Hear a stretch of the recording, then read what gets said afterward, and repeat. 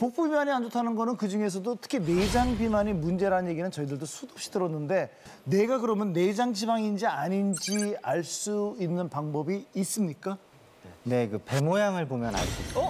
배 모양이요? 배 모양을 보면 알 수 있다고요? 어떻게 해요? 어떻게? 그러니까 이제 우리가 보통 똑바로 누웠을 때 네. 이제 뱃살이 옆으로 흘러내리게 되면 그건 이제 피하 지방이고 어, 내려 내려. 이제 그냥 가만히 그 형태가 유지되어 있으면 내장 지방이라고 볼 수 있습니다. 그러니까 아, 이제 약간 흘러내리면 그렇죠. 어. 네. 그러니까 옆 일부는 흘러내리고 일부는 빵빵하게 있으면 그것도 문제가 되는 거죠? 네, 섞여 있다고 보시면 되죠. 이게 한꺼번에 있는 몸이 안 지방이죠. 좋은 거죠. 이제 왼쪽이 이제 어, 전형적으로 이제 배꼽 아래쪽 이제 근부 쪽에 이제 그 살이 찌는 서양 배형 뱃살인데 누가 제 사진을 어, 저거는 준 이제 뭐 호르몬이라든지 우리 부종 등 이제 소화기관이 떨어졌을 때 생기는 어떤 그런 비만이라고 볼 수가 있고요.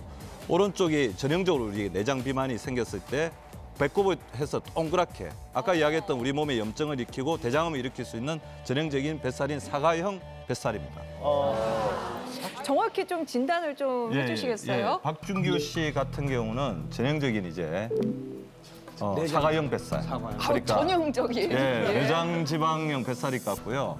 홍록기 씨는 이제 그 사과형 뱃살로 이제 진행하고 있는 단계라고 볼 수가 있을 것 같습니다. 근데 뭐 남자분들이 보통 사과형이 좀 그러네. 많은 것 같아요. 그렇죠? 그 사과형으로 저기 윗배가 놓으신 이 박준규 씨 같은 경우에는 네.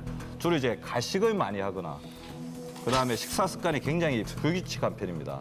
그래서 갑자기 음식 한꺼번에 많이 먹는 폭식, 평소에 이제 음식을 계속해서 많이 먹는 가식 때문에 위가 비정상적으로 늘었다 줄었다 하면서 윗배가 아랫배보다 튀어나와 보이기도 합니다. 근데 이 상황이 이제 오래 가다 보면 이제 나이가 젊었을 때는 우리 지방 집 내장 지방이 워낙 빵빵하기 때문에 배가 이제 빵빵하고 누워 있어도 이렇게 꺼지지 않고 있는데 이게 어느 시간 지나면서 피부에 탄력이 떨어지고 그 안에 있는 내장 지방에도 문제가 생기면 우리 깊은 주름이 생기기도 합니다. 그래서 이렇게 윗배가 나온 사람들은 나중에 지방이 쌓이고 뱃속에 주름이 생길 수 있는 내장 비만형이 가능성이 높습니다.